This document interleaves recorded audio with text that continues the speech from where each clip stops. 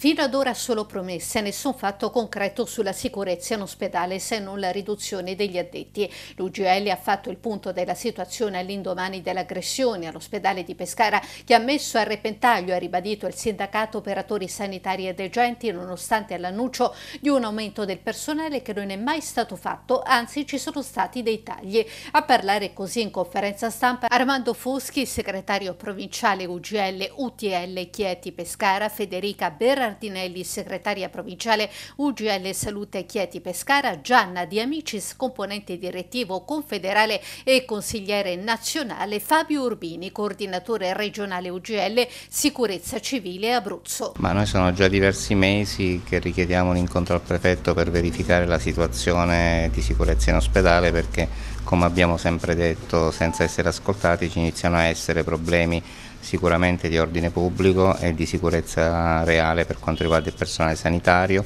gli utenti dell'ospedale ma anche degli operatori stessi della vigilanza che si trovano ad operare in condizioni non proprio fantastiche. Quando dice così è per una carenza di organico? È una carenza di organico perché la vigilanza a Pescara mano a mano che siamo andati avanti è stata sempre ridotta e con l'ultimo appalto intervenuto da luglio eh, sono state ridotte delle postazioni, quindi abbiamo in alcuni reparti carenza di postazioni, in altri che dovevano essere ampliati invece sono stati proprio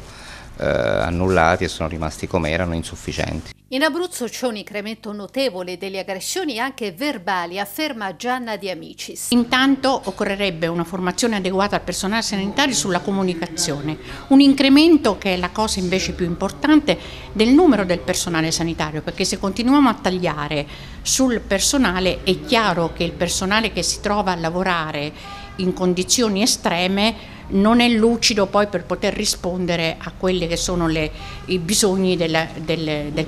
dell'utenza. Questo non giustifica l'aggressione in nessun modo, quindi questa cosa non è giustificabile, bisogna arginare assolutamente e questo fa il paio anche con eh, il personale di, addetto alla sicurezza che non può essere un personale surrogato, deve essere mm, mm, l'ordine eh, carabinieri, polizia, guardie giurate. Inoltre l'UGL chiede un posto fisso di polizia H24.